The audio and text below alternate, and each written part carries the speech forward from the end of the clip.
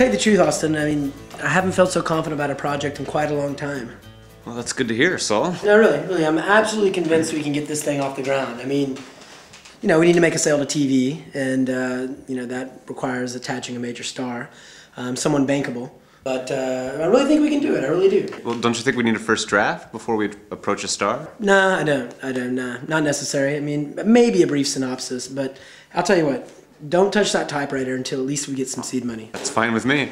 Yeah, I mean, you know, it's just the story. It's the story. Shit. I- I'm sorry about this, Austin. Really, I'm really sorry. Uh, that's, that's, that's Man, I thought it was already past six already. You said to have it back by six. It's all right. We we were just finishing up. Uh, this is my uh, brother, Lee. It's, it's nice to meet you, I can't tell you what a pleasure it is to meet you, sir. Saul Kimmer. Mr. Kipper. Kimmer.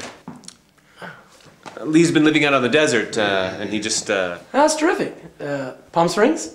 Yeah, yeah, yeah, around that area. Around near Bob Hope Drive there. Ah, I just love it out there. I mean, the air is wonderful. Yeah, yeah, sure is. Healthy.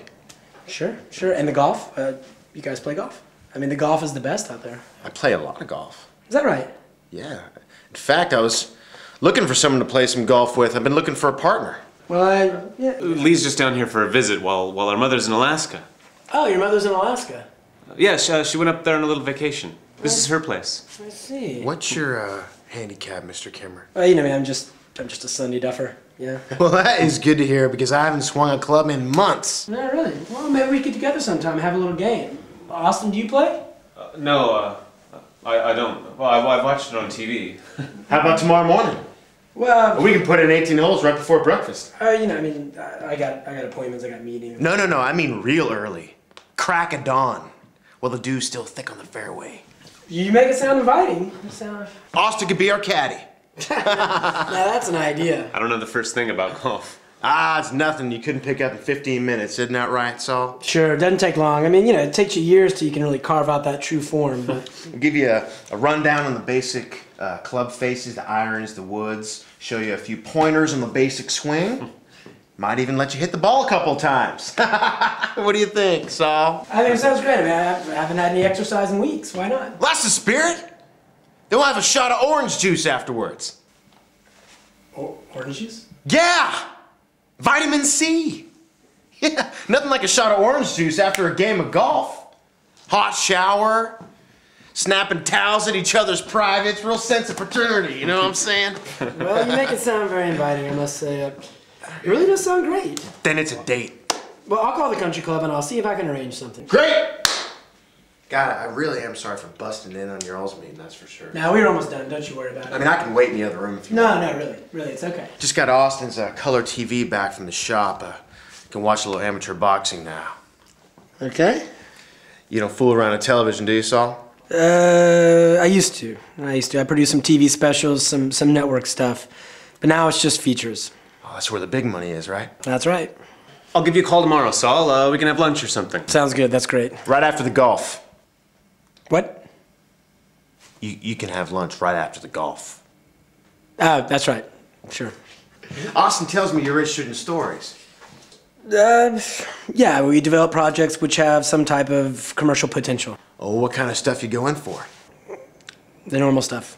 Uh, good love interest. Lots of action. Westerns? Sometimes. I'll give you a ring, Saul. I got a western that'll knock your lights out. Oh, really? Yeah. Contemporary western. True story. I mean, I'm not a writer like my brother here. I'm not a man of the pen. None of us are. But I can tell you a story right off the tongue. I, I just can't put it down on paper. But that don't make no difference, does it? Uh, I suppose not. I mean, plenty of guys have stories, right? I mean, true life stories. Uh, must have been lo- lots of movies made from real life. I suppose so. I mean, I haven't seen a good western since Lonely Are the Brave. You remember that movie? Uh, no, I, I don't. Kirk Douglas. Hell of a movie. You remember that one, Austin? Yes. I mean, the man dies for the love of a horse. Is that so? Yeah. Yeah. End of the movie. Rain's coming down. Horse is screaming. And there's a shot. BAM! Then nothing. But the sound of rain. And Kirk Douglas is riding away in the ambulance, riding away from the scene of the accident. And he hears that last shot, and he knows. He knows that his horse has died. He knows. And you see his eyes. And his eyes die right inside his face. And he closes his eyes. He knows. And you know. You know that he's died too. You know that Kirk Douglas has died from the death of his horse. Well, uh, it sounds like a great movie. I'm sorry I missed it. Yeah, you shouldn't have missed that one. Well, maybe I can check it out sometime. Maybe arrange a screening. But uh, look, Austin, freeway calls. I'm, uh, I'm gonna hit rush hour. Yeah, it's good seeing you. It's good seeing you, Yeah, Saul. all right. So you think there's a chance for a real western these days? A real life western? Um, sure. I, I- I don't see why not. I, I have an idea. Why don't you tell the story to Austin and have him write up a little outline? Yeah. So you take a look at it then? Sure. I mean, I'll take a look at it. I mean, we're always looking for new material. So, so you re- really read through it, huh?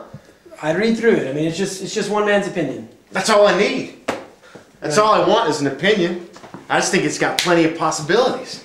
Uh, sure. Look, uh, guys, I gotta run. It's nice meeting you. I- I'll call you tomorrow about the golf. Yeah. Right. You got Austin's number, right? Yeah. Great. So long, Saul.